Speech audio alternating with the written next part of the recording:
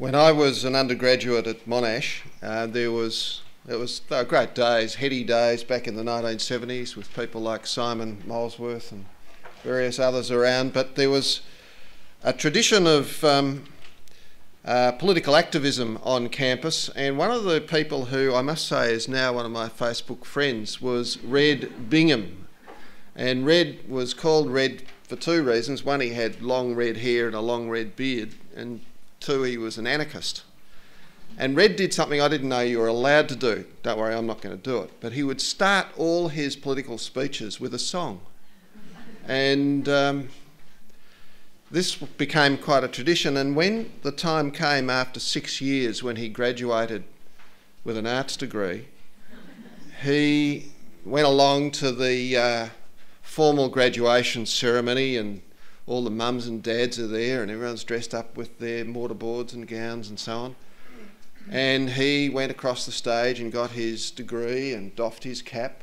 And then he stood at the front of the stage at the Robert Blackwood Hall and held up his degree and sang.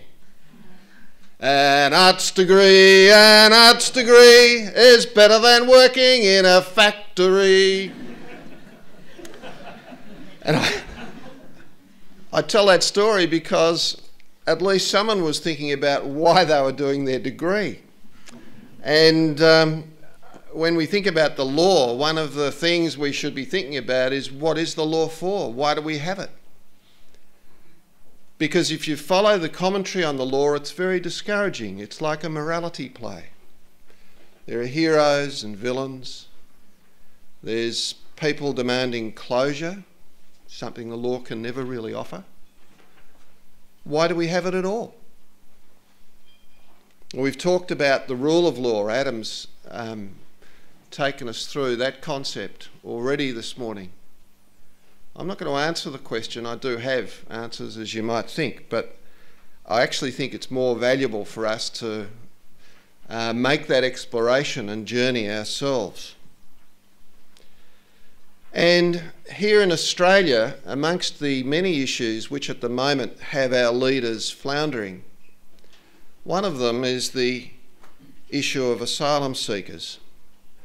And we have from the major parties what is largely a, a bipartisan approach, which I think means going to the lowest common denominator.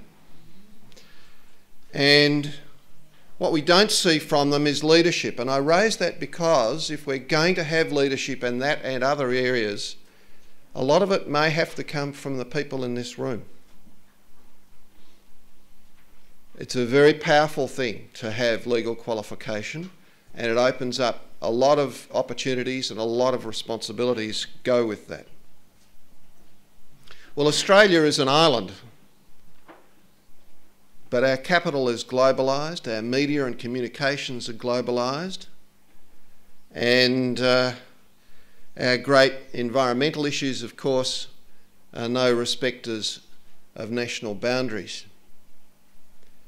And one of the uh, paradigms that we see in relation to asylum seekers is this concept, and I heard it from Scott Morrison yesterday, that the, the, the language of border protection.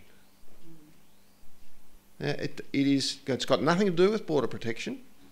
People who come to this country seeking or to invoke the protection of our jurisdiction don't threaten our borders at all. They're actually wanting the protection of our borders. But there is a threat to our borders, and Adam referred to it with the uh, migration zone, all the internal uh, uh, disruption to our borders by taking away the rights that we uphold as part of our national values. So,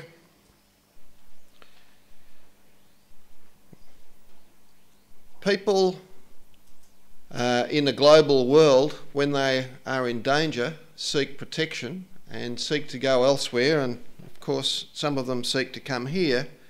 And what should our attitude be to asylum seekers? Well, there is going to be a need for some not just moral but also intellectual heavy lifting um, so that we can digest the problems and sift and weigh solutions. And we've got two very important guides for us in that process this morning.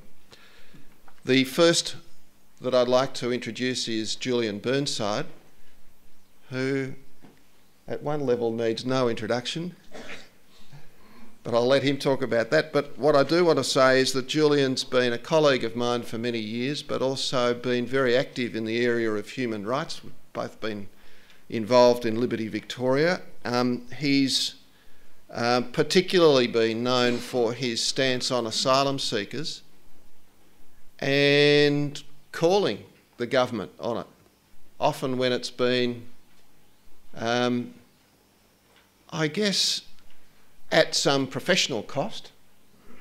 Julian's been active in um, court cases, including the Tampa case where he was lead counsel, but also many cases for refugees, including many in the High Court challenging um, particular stances that government has taken.